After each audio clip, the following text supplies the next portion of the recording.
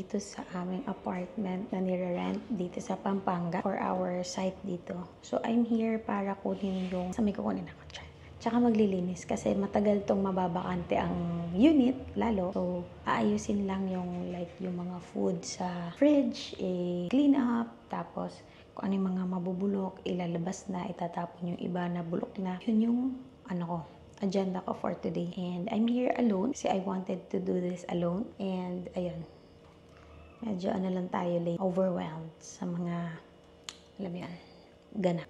It's actually almost 1 o'clock na ngayon. It took me 2 hours to get here. And ayusin ko lang to para makauwi na rin ako agad kasi it's another 2 hours pa uwi ng Bulacan. Ayun, tara let's clean. Samahan niyo ako guys. Kasi wala akong kasama dito guys. Nga pala, naputulan na pala kami ng tubig kasi matagal na nga itong bakante and yung water bill hindi naman dumating. Siguro daw sabi ng landlady probably nasa nasa bantay. Eh yung bantay niya parang umalis ata or something. Ang problem is, sabi, pwede naman daw yung previous pa na bill. But I don't have that one. Kasi iba ang nagbayad ng previous bill din namin. So, hindi ko talaga alam paano siya mababayaran, guys. So, uh, good luck na lang, padlock. Tara, maglinis na tayo para makaalis na tayo agad. The moment of truth. Who's to know what happens when the world ends? At least this is an okay bar for running into you. It's an awful house, and I wanted to get you out. I'm working on a plan right now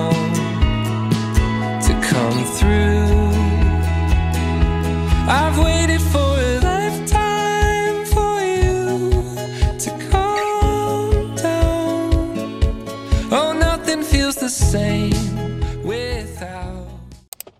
So, ayan guys. Uy, grabe ang struggle sa pag-close ng door.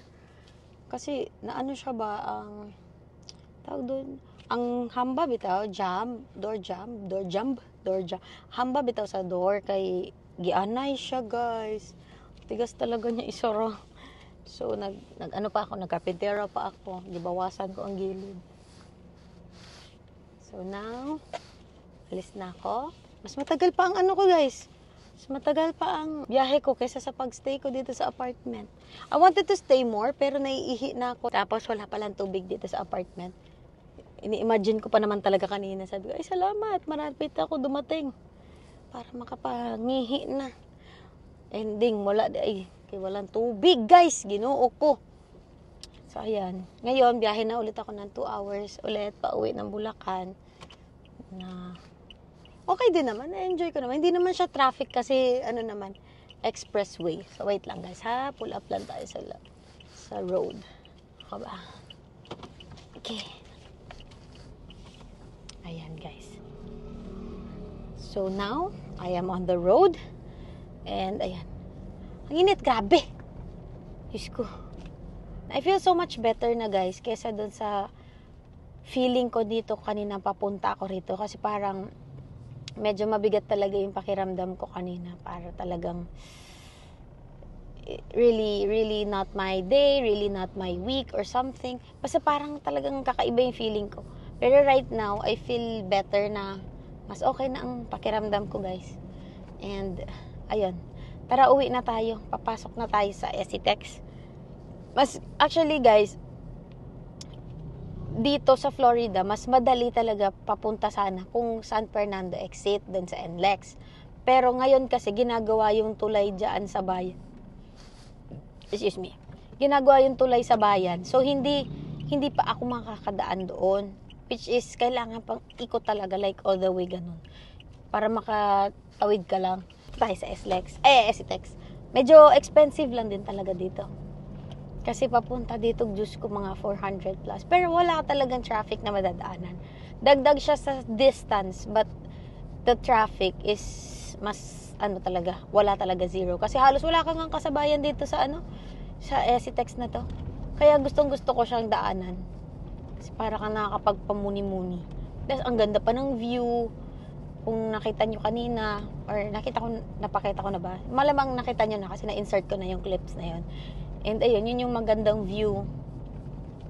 And uh, tara, let's go home na.